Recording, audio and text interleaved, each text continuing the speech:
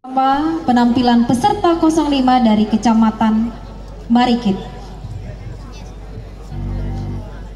Tarian ini dengan tema Haroyong Menggentem Pare atau panen padi. Haroyong Menggentem Pare merupakan suatu kegiatan panen padi yang mana menggambarkan ciri khas Kabupaten Katingan, terutama Kecamatan Marikit yang dilaksanakan pada setiap tahunnya. Panen padi merupakan kegiatan mengumpulkan bulir padi yang telah matang dari ladang atau sawah. Haroyong Megetem Pare ini merupakan suatu kegiatan untuk memupuk rasa semangat gotong royong yang tinggi bagi masyarakat. Pada tarian ini yaitu menggambarkan kegiatan masyarakat pada saat memanen padi di ladang dengan menggunakan alat yang dinamakan panggetem. Selain menceritakan tentang panen padi, tarian ini juga bertujuan untuk memperkenalkan beberapa produk lokal yang terdapat di Kabupaten Katingan, contohnya seperti tanggui atau sapuyung dan etang atau luntung, yang mana tanggui dan etang yang dibutuhkan atau digunakan pada saat panen padi bagi masyarakat setempat. Penata busana Yunanda SPDAH, penata artistik Idelson. Dewan juri yang kami hormati dan hadirin yang berbahagia. Inilah penampilan peserta 05 dari Kecamatan Barikit, Tari Haroyong Menggetem Pare. Kita sambut dengan aplaus yang meriah.